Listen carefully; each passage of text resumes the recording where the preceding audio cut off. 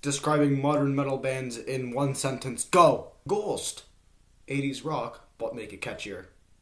Lorna Shore. Incoherent pigs with indigestion. Falling in reverse. Wait, there are members that aren't Ronnie Radke? Escape the Fate. Who's Ronnie Radke? Pierce the Veil. I always confuse them with Sleeping with Sirens. Sleeping with Sirens. I always confuse them with Pierce the Veil. Knocked loose. Arf, arf, boom, boom, boom, boom, boom. Alpha Wolf. Arf, arf, but bigger dog. Memphis May Fire. Generic metalcore with a southern twist. Electric Callboy. If metalcore had memes and wigs. Bring me the horizon. They're not deathcore anymore, therefore they must be sellouts.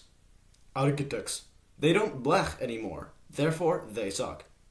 Three Days Grace. Adam isn't the vocalist, therefore they suck. A Day to Remember. When you want to skate, but also feel like disrespecting every every one of your surroundings in, within a 10 mile radius. Motionless in White.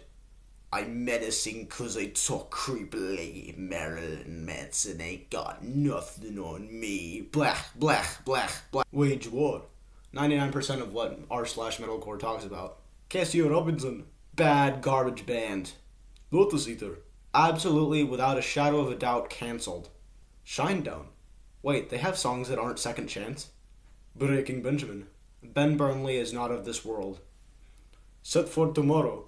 You'll probably find these guys through YouTube comment sections. Please collab with me.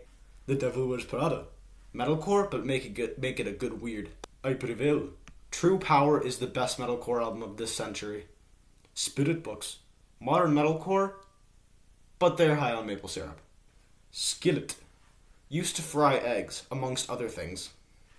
Termina. Don't mind me, I'm just tuning to Double Drop F. North Lane. You go to a rave and then suddenly there's a breakdown. We came as Romans. I'm pretending I can see the end. What are you gonna do about it? Dark Bloom. Future Palace. There is nothing better than Maria's vocals. What billion bands did I miss? Comment below and maybe I'll have to do a part two.